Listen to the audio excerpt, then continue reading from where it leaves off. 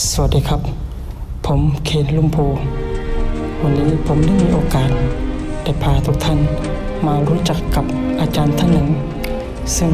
มีความสามารถพิเศษ อยู่บ้านนาล้อมตำบลหนองเรืออำเภอโนนสัง จังหวัดหนองบัวลำพูซึ่งบุคคลท่านนี้ได้มีฉายา ที่ทุกคนกล่าวขานว่า นักเขียนครูศิลป์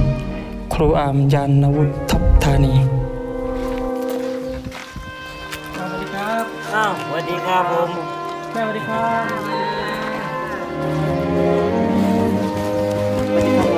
เป็นจังได๋สวัส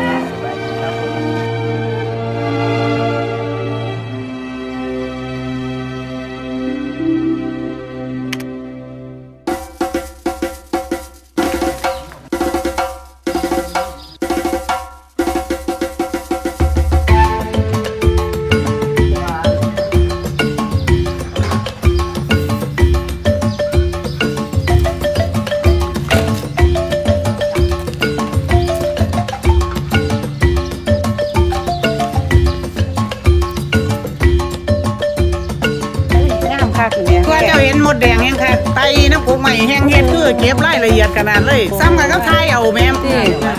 ออไปถอยว่านี่งามนี่งามอีหลีบ่อ่อนซ่อนเอางามอีอ๋อยังเลยครับ อันนี้เพิ่งลงพื้นไปชั้นแรกอยู่ครับ ยังต้องเก็บรายละเอียดเพิ่มอีกอ่า ภาพนี้ก็จะเอาไปประมูลครับผม เอาไปประมูลเพื่อหาเงินช่วยเหลือโรงเรียนที่เขาขาดแคลนอุปกรณ์ในโรงเรียนในชนบทนะครับผม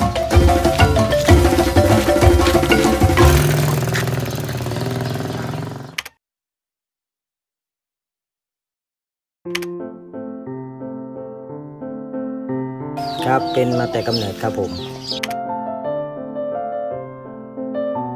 เป็นความชื่นชอบตั้งแต่เด็กแล้วครับ เพราะว่าตอนเด็กๆนี่ชอบระบายสีครับ พยายามฝึกระบายสีแต่เราไม่มีพื้นฐานไม่มีอะไร ปกติวาดรูปไม่สวยไม่เป็น แต่ชอบระบายสี แต่ว่าไม่คิดว่าโตขึ้นจะต้องเป็นครูสอนศิลปะหรือเป็นช่างเขียน ก็พอดีไปรู้จักกับพี่คนหนึ่งที่ทำงานด้วยกันอยู่บริษัท แล้วเขาแนะนำไปเรียนที่ศูนย์ศิลปาชีพบางไทรครับก็ไปเรียนอยู่ประมาณ 5 ปีที่ศูนย์ศิลปาชีพบางไทรไปเรียนวาดรูปโดยตรงเลยครับ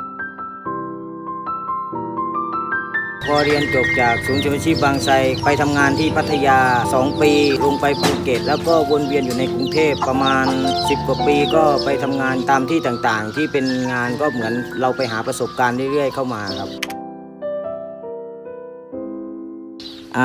เรียนจบม .3 ที่บ้าน พอไปเรียนวาดรูปที่ศูนย์เสพชีพบางไทรก็ไปศึกษาต่อในกศนจนจบม .6 ครับผม เรียนจบ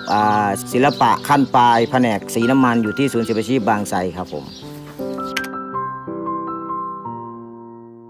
ทุกคนจะรู้จักในนามครูอาร์มจะถนัดด้านเขียนเสือครับ จะเขียนเป็นสไตล์ตัวเอง ถามว่าผมเก่งที่สุดไหมผมไม่ได้เก่งที่สุด แต่ผลงานของผมแต่ละชิ้น ผมเขียนเป็นสไตล์ของผม ให้เป็นตัวของตัวผมเอง แล้วทุกคนก็จะชื่นชอบก็จะรู้จักกันในนามครูอาร์มที่จะชอบวาดรูปเสือครับ เพราะว่าตั้งแต่ว่ารูปมา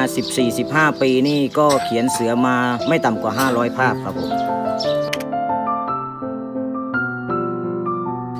การเป็นครูสอนศิลปะหรือการเป็นช่างเขียนภาพสีน้ำมันนี่ความฝันสูงสุดของผม ก็คือเลี้ยงดูครอบครัวให้อยู่ดีมีสุข อีกสิ่งหนึ่งที่อยากจะทำก็คือนำความรู้และโอกาสที่ผมได้รับที่ศูนย์ศิลปชีพบางไทรมามอบต่อให้กับชนบทของเรา อยากพัฒนาท้องถิ่นตัวเอง อยากมาช่วยเหลือ เด็กที่เขาชอบศิลปะ แล้วเขาไม่มีโอกาสได้เรียน ก็อยากได้ความรู้โอกาสที่ได้รับมา อยากเอามาบอกต่อเด็ก ๆ เพื่อให้เขาได้ไปต่อยอดศิลปะมันจะต้องสร้างแรงบันดาลใจให้เด็กๆด้วยครับผม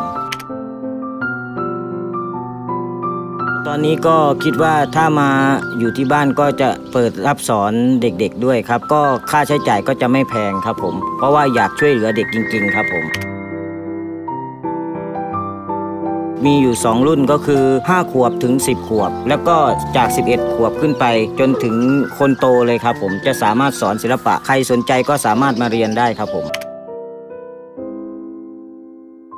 ค่าใช้จ่ายก็คิดครั้งละ 100 บาทต่อครั้งที่เรียน ไม่จำเป็นต้องมาเรียนทุกวัน อาทิตย์หนึ่งมาแค่ 2 วัน เพราะว่าอย่างน้อยคือการเรียนศิลปะมันไม่จำเป็นต้องเรียนทุกวันมาแล้วให้เขารู้ว่าพื้นฐานเป็นยังไง การเรียนศิลปะขั้นตอนแรกเป็นยังไง เพราะว่าอยากให้เขาได้รู้ถึงขั้นตอนที่ถูกต้อง ให้เขาได้วาดภาพออกมาได้เหมือนจริงครับผม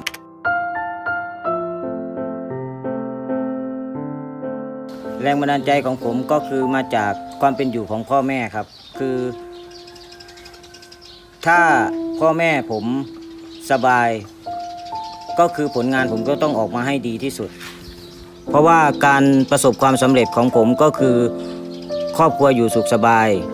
ชื่อเสียงโด่งดังมันไม่ใช่จุดหมายของผม แต่การได้ตอบแทนพระคุณพ่อพระคุณแม่สำหรับผมแล้วก็ถือว่าประสบความสำเร็จในชีวิตแล้ว ส่วน ชื่อเสียงจะดังหรือไม่ดัง อันนั้นมันคือผลกำไรชีวิตที่เราสร้าง แต่อีกส่วนหนึ่งก็คือ ผมอยากตอบแทนสังคม อยากช่วยเหลือสังคม ด้วยการนำความรู้ที่ตัวเองได้รับมามอบต่อให้กับคนที่เขาสนใจรักศิลปะจริง ๆ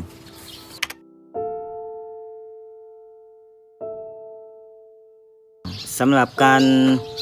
กำลังใจนะครับ แรงบันดาลใจเราอาจจะหาได้จากคนรอบข้าง แต่กำลังใจที่ดีที่สุดเราต้องสร้างขึ้นมาด้วยตัวเราเอง เพราะฉะนั้นเมื่อเราเจออุปสรรคใด ๆ อย่าท้อขอให้มองคนที่เขาแย่กว่าเรา แล้วเราก็จะผ่านจุดนั้นไปได้ สิ่งสำคัญที่สุดคือ จิตใจเราต้องเข้มแข็ง ต้องผ่านอุปสรรคไปให้ได้ อย่างผมกว่าจะมาถึงจุดนี้ได้ก็ล้มลุกคลุกคานมาเยอะเหมือนกันครับ พอสมควร เพราะว่าสิ่งสำคัญคือ ใจเราต้องเข้มแข็งที่สุด คนที่จะวาดรูปเก่งที่สุด ไม่ใช่คนที่ สิ่งสำคัญไม่ใช่ความเก่ง แต่สิ่งสำคัญคืออันดับหนึ่งเราต้องเป็นคนมีคุณธรรม แล้วคำว่าคุณธรรมมันจะนำสิ่งดีๆ มาให้เราครับผม แล้วก็จะได้เจอโอกาสดีๆ อย่างผมทุกวันนี้ครับผม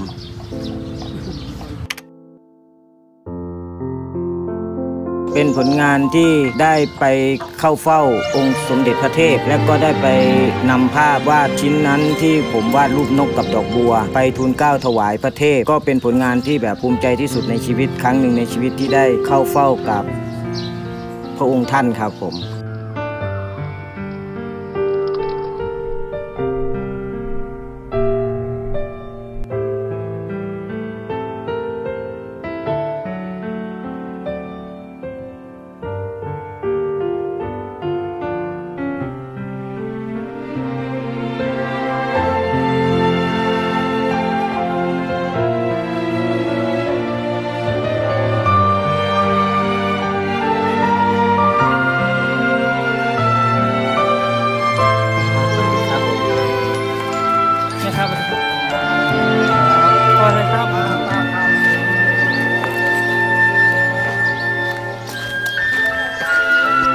ครับ